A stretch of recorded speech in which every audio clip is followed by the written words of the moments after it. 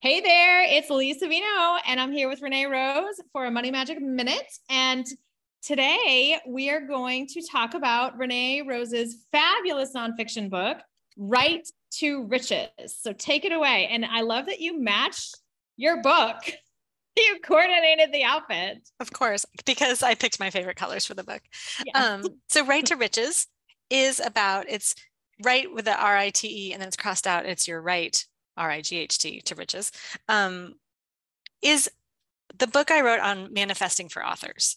So if you're an author and you are into law of attraction, manifestation, this is the book where I apply all of those lessons to our lives as writers. So what do you do when you're feeling competitive with your fellow writer? What do you do when you're can't get your words in for the day? What do you, you know, or you can't make yourself get your words in?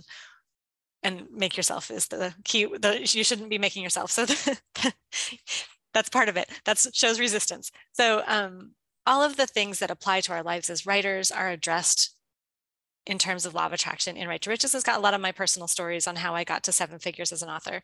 And then it has an accompanying journal um, that has prompts. Because you're a writer i figure that writing is the best way to, for you to tap into your intuition and to follow the nudges from the universe. And so these are all prompts that help you clear, that help you unblock, ignite, and receive the money magic method. So they're both, um, or not both, the journal's not available in audio, obviously, because it's for you to write in, but the book is available in audio, paperback, or ebook.